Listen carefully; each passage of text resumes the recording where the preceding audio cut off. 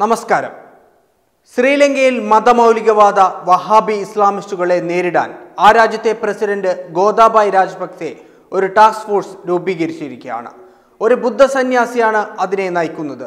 ഒരു രാജ്യം ഒരു നിയമം എന്ന തത്വം രാജ്യത്ത് നടപ്പാക്കുന്നതിന്റെ ഭാഗമായി റിപ്പോർട്ട് സമർപ്പിക്കുകയാണ് ടാസ്ക് ഫോഴ്സിന്റെ ചുമതല. ഇസ്ലാമിസ്റ്റുകൾക്ക് അഴിഞ്ഞാടാൻ വളം വയ്ക്കുന്ന പ്രീണനം അവസാനിപ്പിച്ച് നിയമത്തിനു മുന്നിൽ എല്ലാവരെയും ഒരുപോലെ കാണുന്ന നിലയിലേക്ക് കാര്യങ്ങൾ എത്തിക്കുകയാണ് ഗോദാബായ് സർക്കാരിന്റെ ലക്ഷ്യം. ടാസ്ക് ഫോഴ്സിന്റെ അധ്യക്ഷൻ ബുദ്ധിസ്റ്റ് ബലസേനയിൽപ്പെട്ട ഗണസരിയാണ്. വഹാബിസത്തിനെതിരെ ശക്തമായ നിലപാടുകളുള്ള സന്യാസിയാണ് അദ്ദേഹം.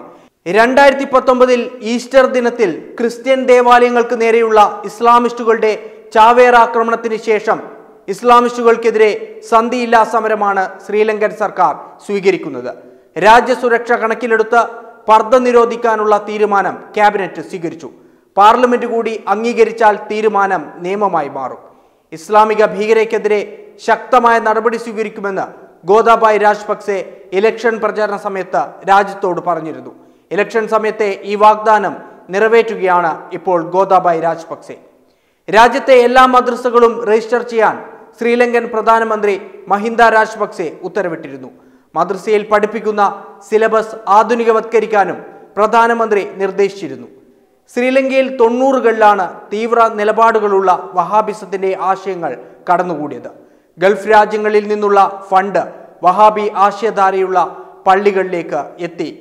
ഇത് തീവ്രവാദത്തിന്റെതായ പരിസരം സൃഷ്ടിക്കുകയായിരുന്നു. ഇരുന്നൂറ്റി അറുപത്തിയേഴ് പേർ മരിച്ച മൂന്ന് ക്രിസ്ത്യൻ പള്ളികളിലും മൂന്ന് ആഡംബര ഹോട്ടലുകളിലുമായി നടന്ന ചാവേറാക്രമണത്തിന് ശേഷം വഹാബിസ്തരെതിരായി ശ്രീലങ്ക ശക്തമായ നടപടികൾ സ്വീകരിച്ചു വരികയാണ്. വെബ് ഡെസ്ക് തൊത്തമൈ ന്യൂസ്.